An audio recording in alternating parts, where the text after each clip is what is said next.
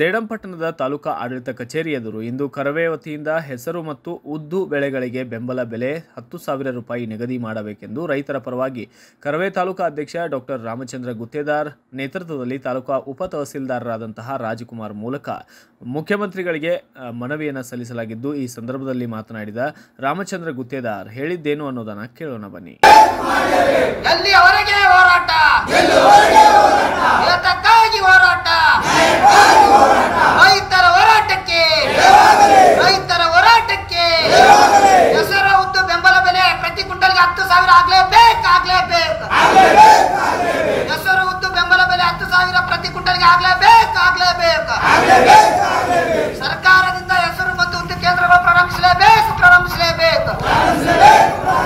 ಮಾನ್ಯರ ಘನವೆತ್ತ ಮುಖ್ಯಮಂತ್ರಿಗಳು ಕರ್ನಾಟಕ ಸರ್ಕಾರ ಮಾನ್ಯ ಸಹಾಯಕ ಆಯುಕ್ತರು ಸರಡಂರವರ ಮುಖಾಂತರ ಮಾನ್ಯನೆ ಮಾನ್ಯರೇ ಹೆಸರು ಮತ್ತು ಉದ್ದು ಉದ್ದು- ಬೆಳೆಗಳಿಗೆ ಬೆಂಬಲ ಬೆಲೆ ಪ್ರತಿ ಕ್ವಿಂಟಲ್ಗೆ ಹತ್ತು ಸಾವಿರ ನಿಗದಿ ಮಾಡಬೇಕು ಮತ್ತು ಸರ್ಕಾರದಿಂದ ಹೆಸರು ಮತ್ತು ಉದ್ದು ಕೇಂದ್ರಗಳನ್ನು ಪ್ರಾರಂಭಿಸಬೇಕು ಮತ್ತು ಅದೇ ರೀತಿಯಾಗಿ ಸರ್ಕಾರ ನಿಗದಿಪಡಿಸಿ ಧಾರಣೆಯ ಪ್ರಕಾರ ಖಾಸಗಿ ಮಾರುಕಟ್ಟೆಯಲ್ಲಿ ಮಾರಾಟ ಮಾಡುವ ಕುರಿತು ಮಾನ್ಯರೇ, ಮೇಲ್ಕಂಡ ವಿಷಯಕ್ಕೆ ಸಂಬಂಧಿಸಿದಂತೆ ತಮ್ಮಲ್ಲಿ ಅರಿಕೆ ಮಾಡಿಕೊಳ್ಳುವುದೇನೆಂದರೆ, ಈಗಾಗಲೇ ರೈತರು ಮಳೆ ಅಭಾವದಿಂದ ತುಂಬಾ ಸಂಕಷ್ಟದಲ್ಲಿ ಸಿಲುಕಿದ್ದಾರೆ.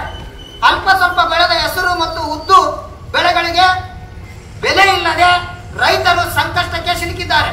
ಬೆಳೆಗಳನ್ನು ಸಂರಕ್ಷಣೆ ಮಾಡಲು ರಸಗೊಬ್ಬರ, ಕೀಟನಾಶಕಗಳನ್ನು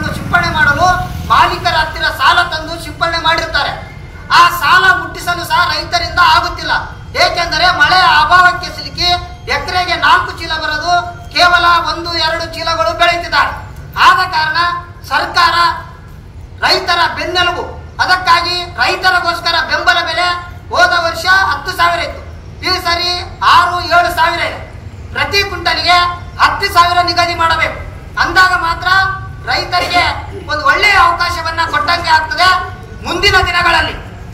ಒಂದು ವೇಳೆ